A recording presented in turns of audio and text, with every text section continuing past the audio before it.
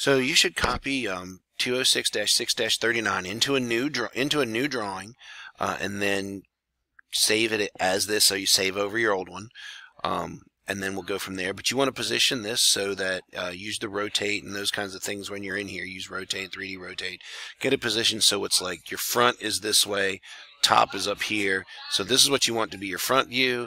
Your top view will be like that one, and your right side view will look like that. So that's what you're trying to do when you get it positioned that way. So you want the long side of your your part to be parallel with the long side of your page when you're doing your layout. So when you go in your layout, we'll get rid of that viewport and go ahead and go to layout here. Click base view, and we're going to put that in here like this.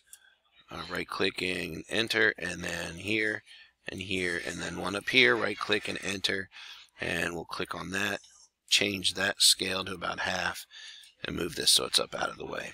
Alright then we're ready to start dimensioning. Don't know what those dimensions were. Um, I don't remember so we'll go here to annotate put a dimension on and we'll start by putting an overall length on here uh, we'll put an over or an overall width on this part right here and we'll put an overall height. So those three things you have to have. Oops, I messed that up. So I'll put that in right about here, and I'll zoom in close. I'm going to click on that. Oops, uh, hit escape twice. Click on that, grab that grip, and move it down there to the end. So now I got an overall height. Now, what are the other things we need to know? We need to know what the different features are. So let's look at this feature. We want this feature right here to have a dimension, what that thickness is right? And we can do one of two things. We can either put a dimension that goes from here to here, and that'll be fine, or we have to put a dimension that goes from here to here. And just to make it even, we'll go ahead and put one that goes from there to there, and we'll put it up here. Now, somehow or another, I messed that up, but I'll fix it. So hit escape, click that. I want to get that right on that endpoint. All right. So if you put it in here, you're over dimensioning. That creates a problem with tolerance stack up.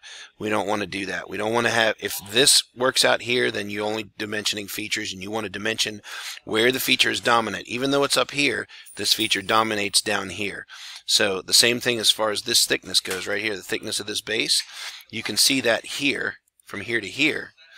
That's where the, you see it as dominant. It's over here also, but this is the best place to put it. All right. So now you wouldn't dimension these this square in these. You dimension it in these two views. You dimension it over here on this view. So I'm going to dimension this by putting in what that size of that is. So that's one inch there and one inch here. Right. And then the only other things we need to know then is how to get to it. So I want to go from this corner to that corner and we'll put that one in let's say right about here we might have to adjust some stuff here in a minute because it looks like it might get close and I want to do the same thing from this corner to this corner just in the other direction this way.